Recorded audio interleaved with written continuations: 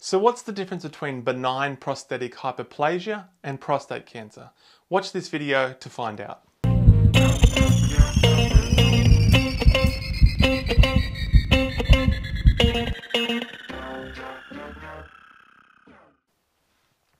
So welcome to this video on benign prostatic hyperplasia or BPH versus prostate cancer. In this video you'll learn what, uh, what's essentially the definition, what are their risk factors, pathogenesis or pathophysiology, and the clinical manifestations of these two prostate conditions. So let's start off with the definition. So the definition of BPH is essentially the H being hyperplasia. Sometimes it's referred to hypertrophy, which means bigger cells, but I think in most cases hyperplasia is more accurate. So hyper means increase, plasia means growth. So essentially what it means is there's an increase in cellular, cellular component of the prostate.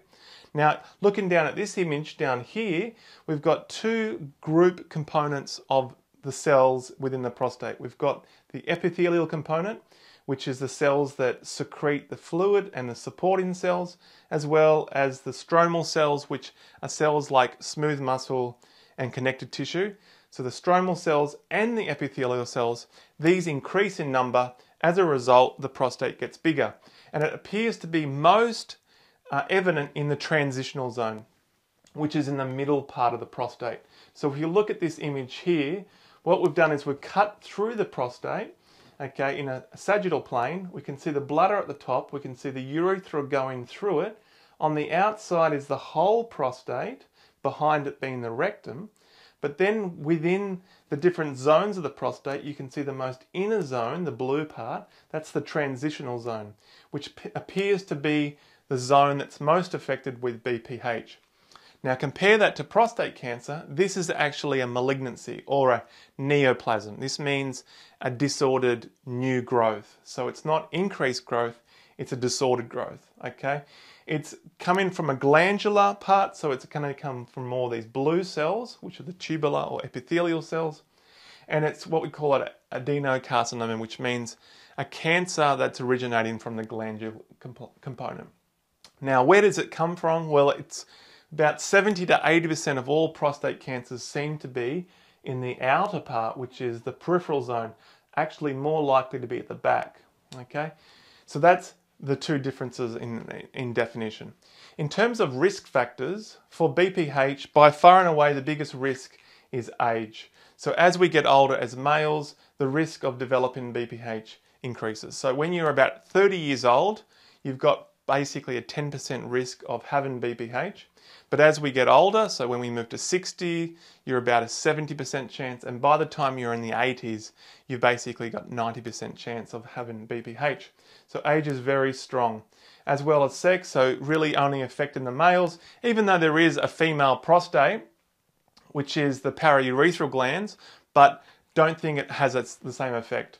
Family history also suggests that uh, twin, so identical twins, if one has it, the other one has about a 300% chance of developing it as well.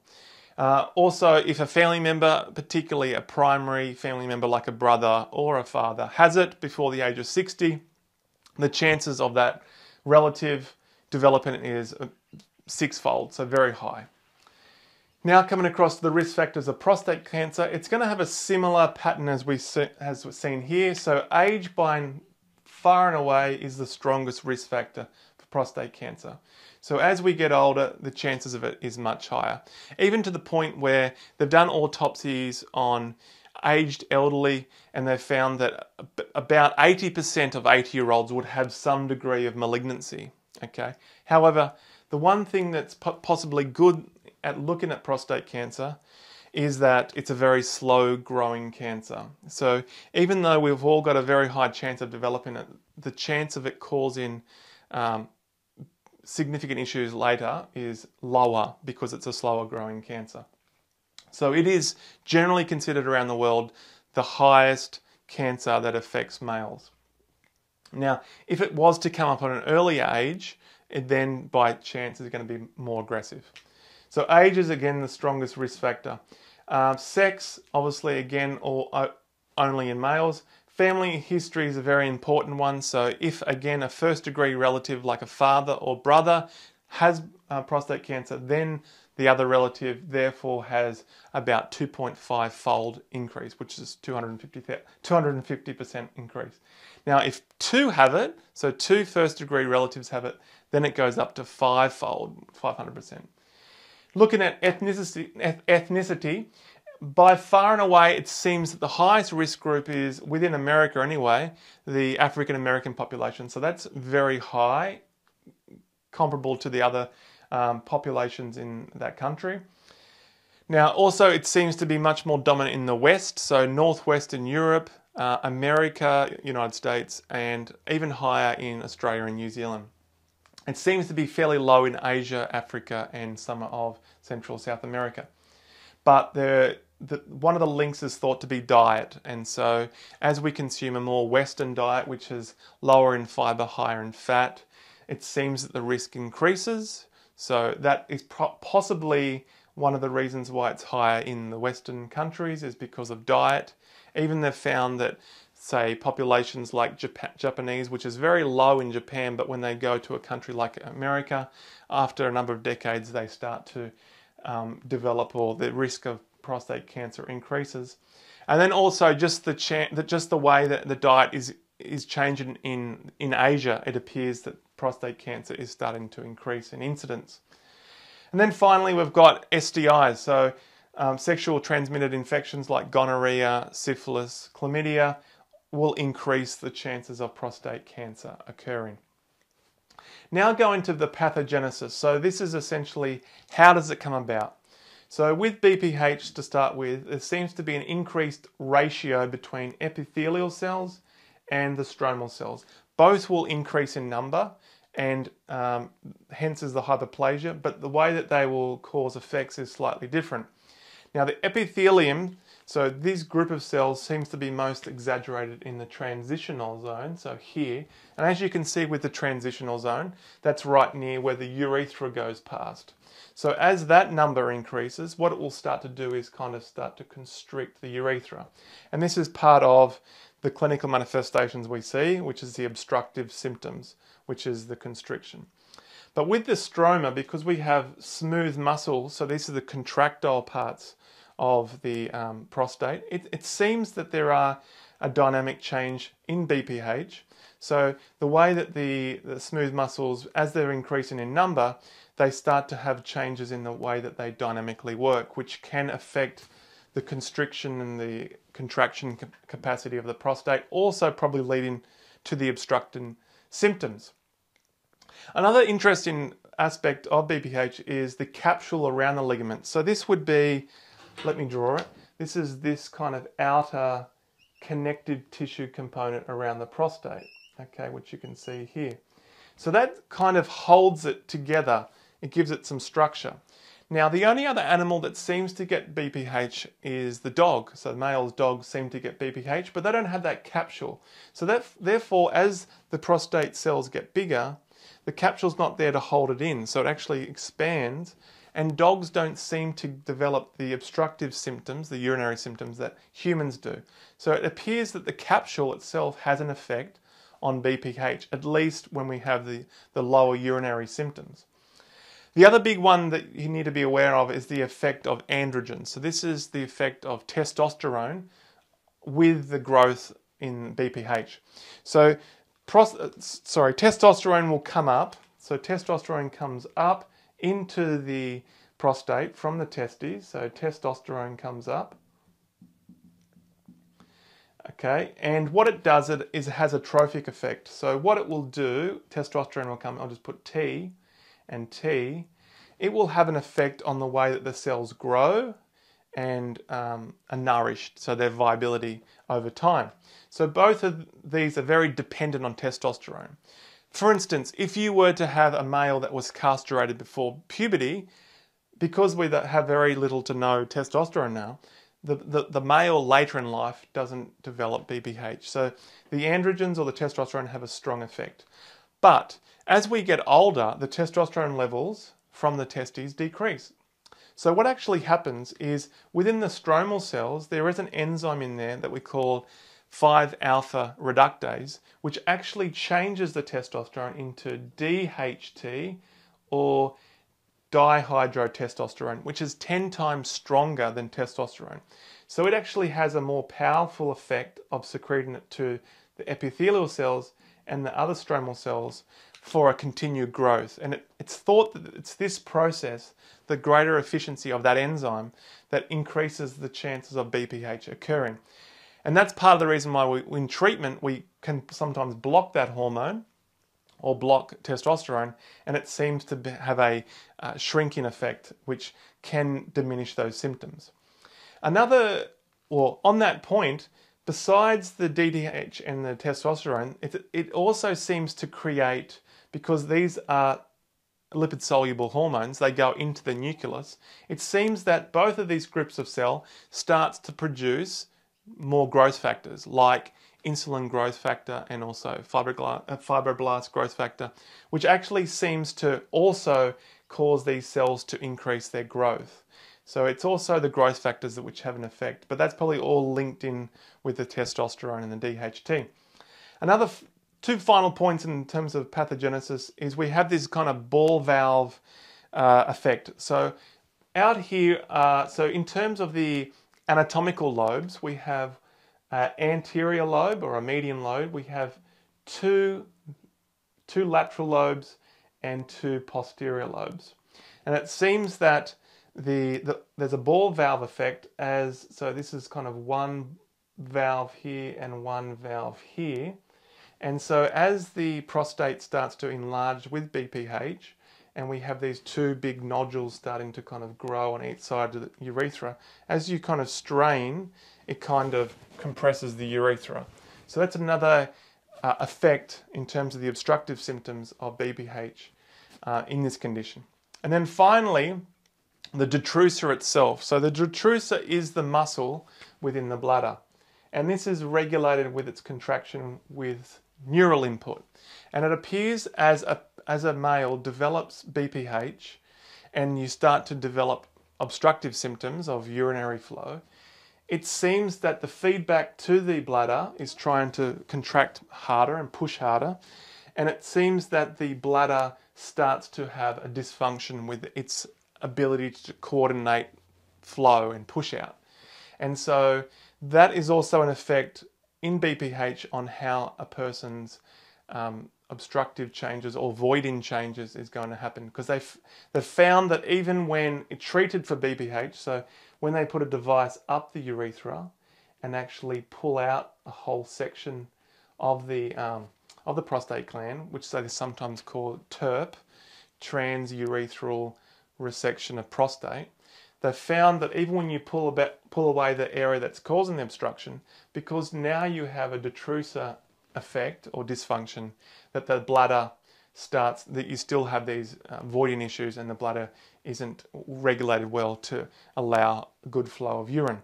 So there is quite a lot of things happening in the pathogenesis in BPH to cause the symptoms.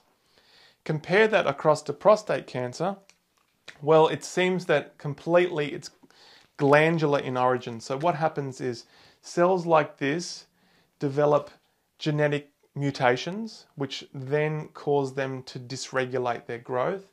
So they'll start just copying, and then they'll all these cells will start to grow. Okay. So instead of just increasing the number with BPH, what we start to see is now this very disordered growth and this is the start of a tumor. Okay, so the, the glandula is generally going to be in those tubular cells in the epithelial area, less likely to be these basal cells, and much less likely this green cell, which is what we call a neuroendocrinal cell, which helps to regulate the secretion patterns, which is probably going to come from the parasympathetic and sympathetic nervous system. So the, this glandular effect in this growth pattern is the main source of pathogenesis with prostate cancer. You just have this disordered growth starting to grow and grow and grow, which is predominantly in glandular origin, and that's how it is diagnosed, which we'll talk about in a second. Androgen, so all that testosterone that we spoke about is also very important in this space. And similarly, what we saw in BPH, if a person was to be have chemical castration or castration before puberty, they would not develop prostate cancer. So, so androgens seem to have an effect to kind of lay down the platform for then prostate cancer to then manifest. And even in treatment, when they use androgen blocking therapy, there seems to be effect on reducing the size of the cancer. Now, in terms of how it spread, well, firstly, a thing to be aware of, as we said earlier, the majority of the cancers happen in the peripheral zone and predominantly more so at the back, so in these posterior lobes. And so as it starts to develop out here, okay, it's going to start pushing outwards. So this is a, starting to form nodules, okay? So it's going to go out more, the, more than in. So to actually go into this area here and start to cause obstruction to the urethra is going to be a much later stage than it would be um, pushing outwards. But an important point to be aware of, and this is going to be the capsule, which is sometimes the method of spread. But an important thing to be aware of is the way that the um, connected tissue or the lining of the um, peritoneum comes down from the bladder into the rectum, which usually stops here, we actually have this continuation of fascia that kind of goes behind the rectum, like so, which you can see on this diagram because this is looking at the back, this is looking at the back, so this is the fascia here. So if a cancer was to develop at the back, it's less likely to be able to go through into the rectum because of that fascia. So it actually more likely goes up into the capsule. Now sitting up here, up here is the seminal vesicle, which puts some fluid into the urethra, like seminal fluid for semen. And so the spread is very common into the seminal vesicle, sometimes in the neck of the bladder. And then at a later stage, we have these kind of neurovascular bundles that are innervating the prostate. So this is coming in terms of fascia coming in like so. And they've got blood vessels and lymphatics and nerves. And it seems that the cancer will, if moving into a later stage, will go into those bundles and can be transported into, say, the blood, the, the venous blood, which can then be taken back. And it seems to have a likelihood to go into the vertebral venous flow, and that's a very common place of metastasis or spread is in the bone of the vertebra or the pelvis.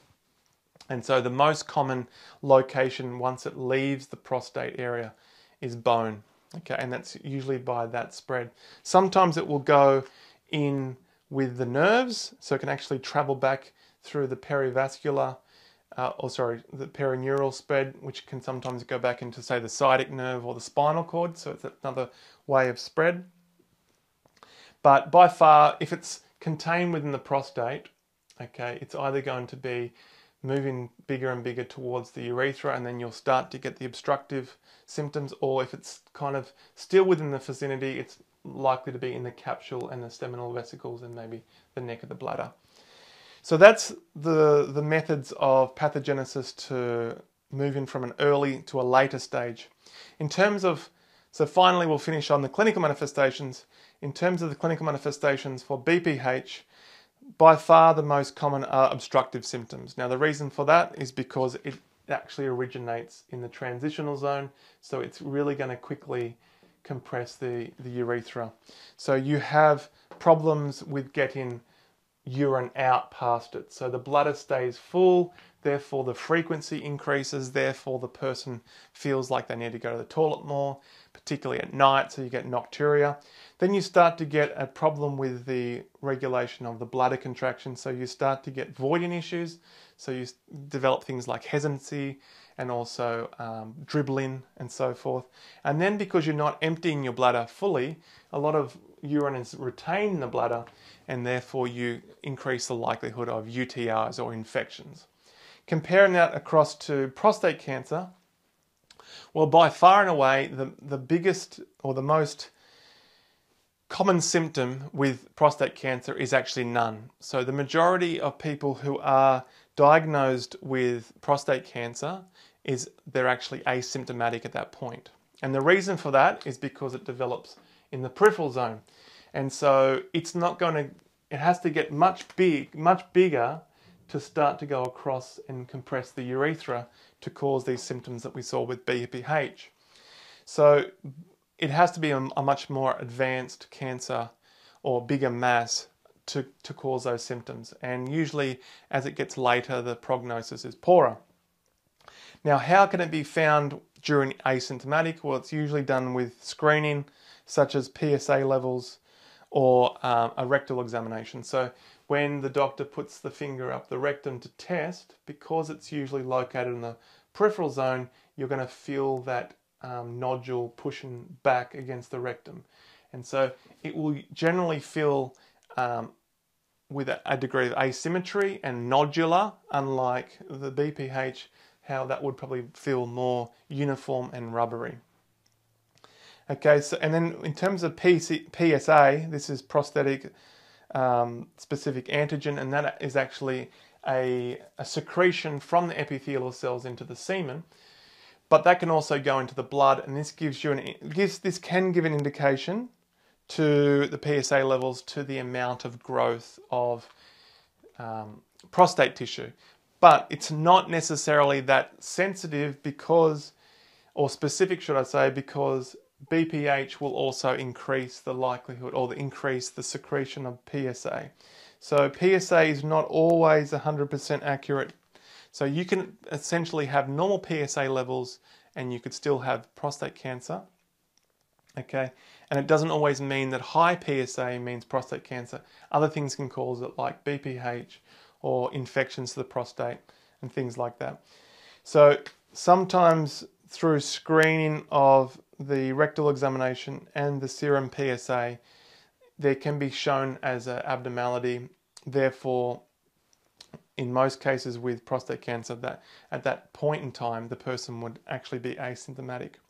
Then once we move to the obstructive, as I said, it's a much later stage. And then once we get to the metastatic stages of spread into bone or even urine, blood and urine, that's a much later stage and that the, the stage then is much poorer in prognosis.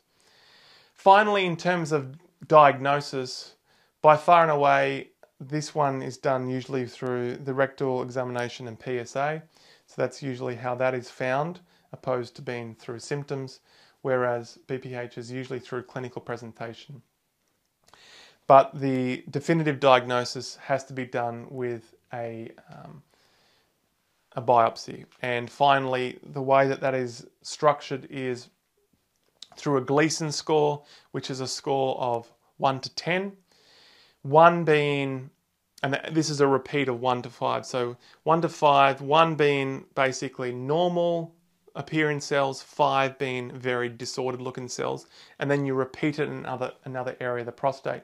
So essentially, they'll go in with a needle, pull out a bit of tissue, look under the microscope.